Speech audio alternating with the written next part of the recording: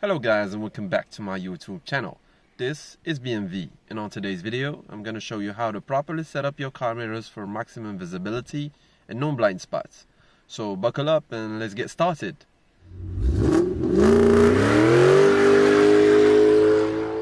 People set their mirrors this way.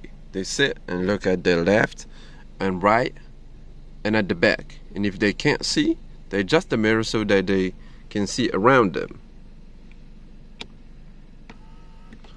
Like this.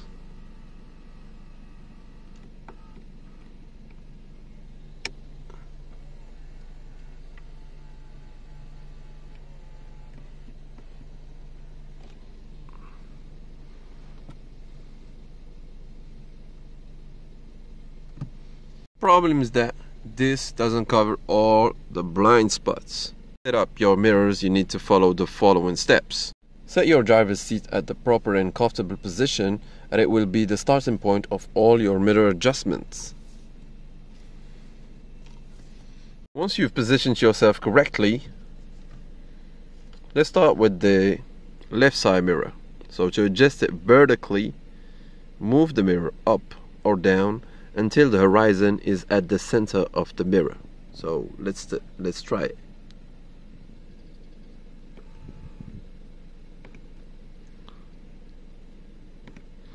Now the horizon is at the center. To adjust it horizontally, move the mirror left or right until you can only see the back edge of your quarter panel. This will ensure maximum visibility on your left and you will be able to see cars passing you even if they are far on your left. No. Let's readjust this. So this is the maximum I can go to the left.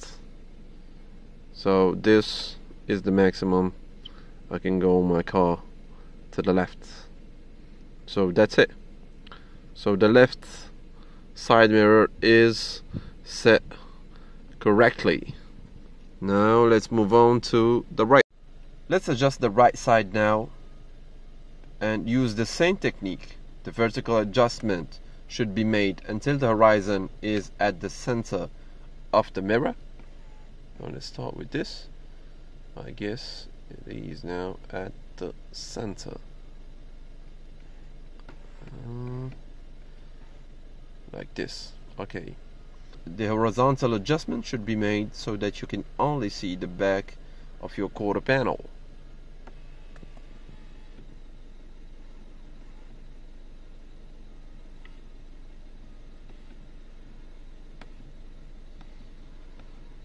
Now let's adjust the rear view mirror. It should be adjusted so that you can see the entire rear window. Like this.